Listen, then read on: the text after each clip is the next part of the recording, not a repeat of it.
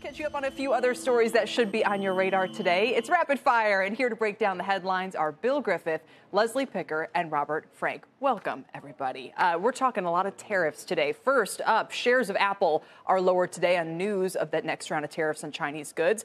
Here's Wedbush's Dan Ives. He says consumers could pay an extra $100 for the latest iPhones once the new tariffs kick in. He says demand for iPhones, and this was, I thought, quite surprising, could drop by up to 8 million units in the U.S. as a result. Tim Cook had just praised the quote market improvement in China during Q3, but the tariffs on China could hurt the U.S. consumer. Imagine if Tim Cook didn't have a direct pipeline to the White House. Right, and he does, right? yeah. It's not uh, working. he, he, has said that he can pick up the phone and get the president on the phone whenever he needs to. You mean Tim Apple? Yeah. Uh, well, yes, exactly. His close personal friend. Yes. But imagine if he couldn't get that kind of access. Right. And the, the, the president appears unfazed by that. It's pretty clear what this would mean in, in practice. And yet, here we are, 10%, and now everyone's speculating about when they might be going to 25. And look, I think the Apple customer is probably one of the least sensitive customer segments out there, so they can probably eat a little bit of it and pass some of it on. The bigger risk, though, I think, is if China d- decides to do something retaliatory mm-hmm. against Apple in China. Totally. And that, I think, is the, the sort of second shoe to drop that hasn't and may not, but I think that's a bigger risk. If, if, they, if Apple sort of avoids that, it would only be because they're also such a big employer in China, right? I mean, it, to some extent, they're protected by Foxconn and by the supply chain there. So as much as they might want to relocate it, not only is it hard to do, it might be bad for them in the long run. I don't know if you saw, but just maybe 15 minutes ago, the new Chinese ambassador to the United Nations said uh, he responded. He said, "Look, if the United States wants to talk trade, we'll talk trade. If they want to fight trade, wow. we're prepared to fight trade." And during their latest earnings call, um, Tip Tim Cook did, I was about to say Tim Apple, Tim Cook did say that their growth in China was strong. The question, though, is as this trade war does become prolonged, as it appears to be, uh, you know, will the Chinese consumers start to turn off from, oh, from Apple absolutely. in the way that they have well, for other products? Well, they're already going to Huawei. Huawei's yeah. picked already up a going lot to of Huawei. market share. You know, that could put a big dent in demand as well as the U.S. consumers who aren't willing to pay the higher prices. Absolutely. And by the way, it's not just Apple in terms of the retailers that could be hit hard by these tariffs. Here's the CEO of Columbia Sportswear calling those tariffs, quote, a disaster for our economy, saying they'll force retailers to raise prices on products. Then the footwear industry bracing for the biggest hit with more than 70% of shoes sold in the U.S. coming from China. Lauren Thomas, come on down uh, because there are some amazing little nuggets in your story. Why is footwear in particular so hard hit here? Yes, no, and I hate to be the bearer of bad news. But Were those shoes made in China, by the way? Right, I know. I know. And everyone's got their sneakers We've on. got our sneakers on for this segment. so I know, I should have changed. Um, but yes, no, footwear and even more than apparel. So you said about 70% of footwear sold in the U.S. comes from China. Apparel's about 42%. Um, a lot of these companies, I mean, Nike, Adidas, Under Armour, still rely heavily on China. We've seen them shift. Um, increasingly, they've shifted production into places like Vietnam and Indonesia.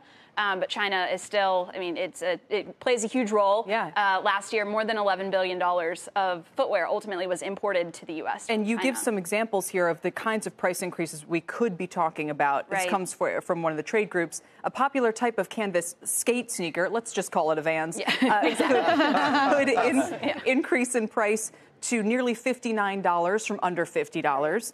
Uh, the price of a typical hunting boot could go to $220 from $190, and a popular performance running shoe could go to almost $190 from 150. Right. Now, is this just the trade group scaring us all with what could happen? I mean, no. How, I mean, I think this is be? reality setting in, and I think when you talk to a lot of these companies, they would say, "Okay, we get it. The you know the Trump administration wants us out of China. They want us to shift production. You can't do that overnight, though. I mean, like I said, these companies like Nike, they've been working at it for years now, and so you've seen that shrink, um, but it doesn't happen overnight. And I really think that you know when this goes into effect come September, I think that you know sticker shock will start and be a reality. Steve Madden was down big today. Steve Madden, yeah, and moves. I think Piper Jaffray has estimated more than 90% of their production is in China. So they're one in wow. particular wow. where it's a hmm. it's a huge chunk. But I just wonder. You mentioned some of those increases. So a running shoe, if it's you know $38 more now, do you think that's really going to impact like you as a consumer?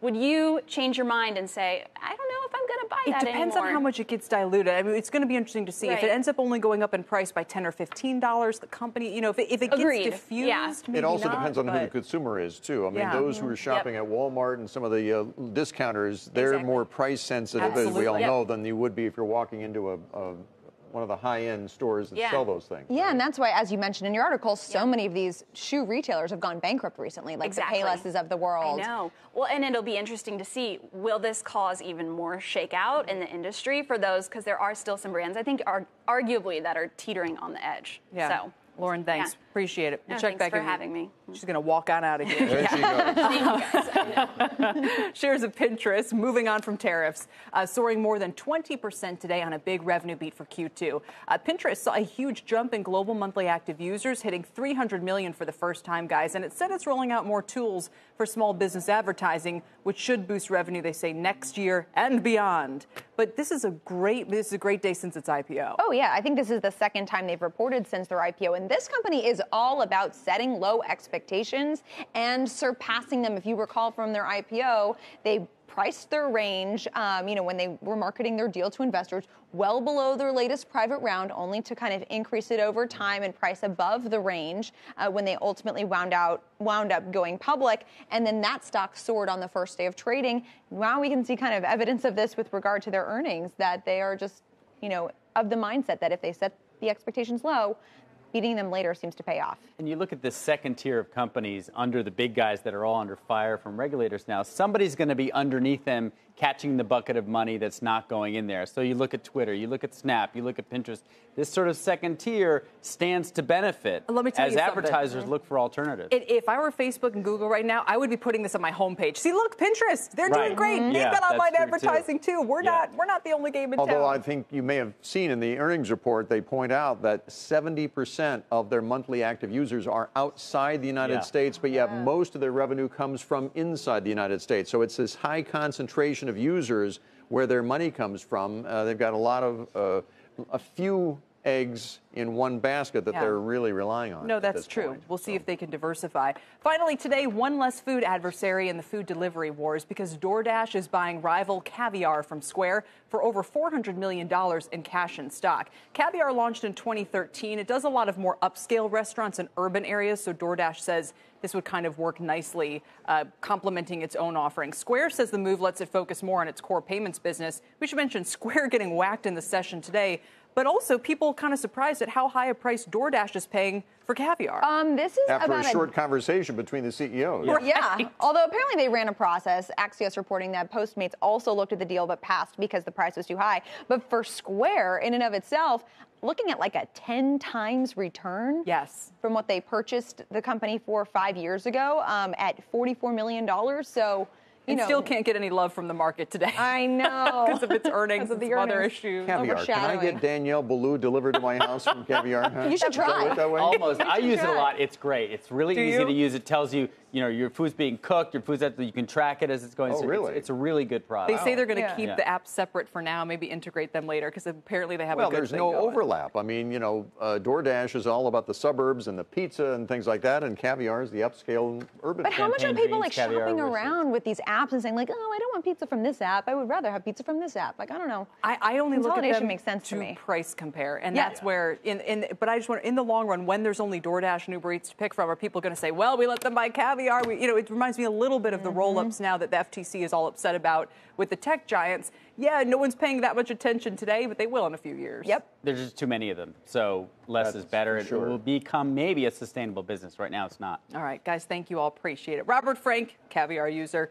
Leslie Picker, and Bill Griffeth.